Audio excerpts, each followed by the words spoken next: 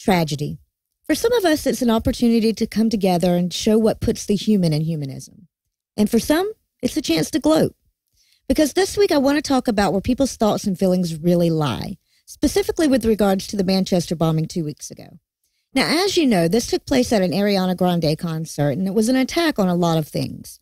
It was an attack on Western values. It was an attack on the British people.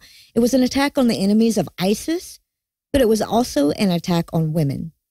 And while the zealots love to trot out how much better the West treats its women, that's not much to brag about when the other guys won't let us drive cars or flaunt our cheekbones. But let's put that claim to the test and see how much better the West handled this. First up, man of the bucket, Jim Bakker, made sure to blame the victims, saying, quote, they literally invited these kinds of things to happen. They almost cursed themselves with this concert. I tell you what, God's not going to put up with this mockery. Be not deceived, God is not mocked. End quote. And as monstrous as that is, it does make you wonder what Bakker thinks God has been missing about us for the past few years. I mean, how the hell hasn't the omnipotent guy heard of podcast? But Bakker wasn't the only one.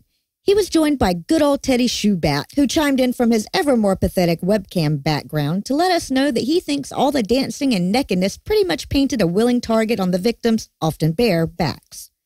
He said, quote, the people who died, the people who were injured, the people who were scared out of their minds who ran away screaming, I really don't care. They go to these concerts dressed up as whores, dressed up as sluts.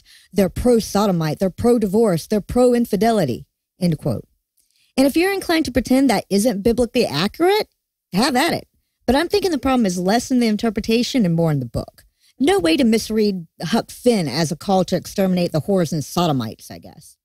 But it wasn't just religious leaders. Cumfield t-shirt attached to a human Mike Cernovich decided to continue to muddy the definition of human being by tweeting a picture of Ariana Grande with the captions, I hate Americans, I hate America, which is something she did say offhand to a friend about American consumerism. But context or no, a cavalcade of conservative voices decided to get in on the action, including David Duke. Because any forward thinking Twitter meme that doesn't get an endorsement from the Dukester, and with the confidence that the well has done a perfectly good job of poisoning itself, I'll hand you back over to Noah, Heath, and Eli.